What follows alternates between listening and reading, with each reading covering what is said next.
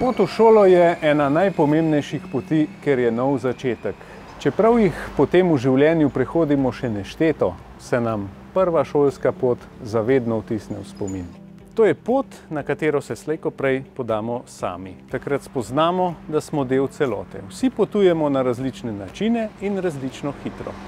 In tako postane šolska pot pomembna pot spoznavanja pravil, zlasti pa, kako po njih živeti in se po njih ravnati. Včasih pozabimo, da se v šoli naučimo mnogo več kot modrosti, zapisanih v knjigah. Spoznamo lahko, kako pomembno je sodelovanje in kako pomemben je vsak posameznik. Sami zmoremo narediti veliko, skupaj zmoremo narediti več. Naš cilj je, da skupaj naredimo poti in ceste bolj varne. Ne sprašujmo se, kako visok je ta cilj.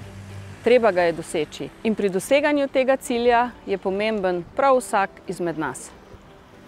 Pred nami pa so tudi drugi pomembni izzivi.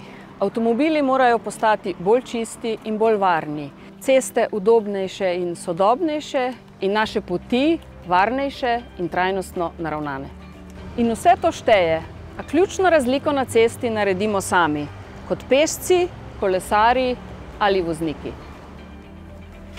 Do bolj varnih poti v šolo pridemo tako, da smo bolj obzirni, pozorni in seveda tovariški do drugih.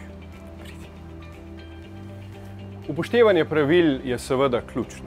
A otroške glave so polne tudi drugih pravil in vseh ostalih obveznosti jih imajo, ampak na srečo tudi zabave in vsega tistega, česar se v šoli veselijo.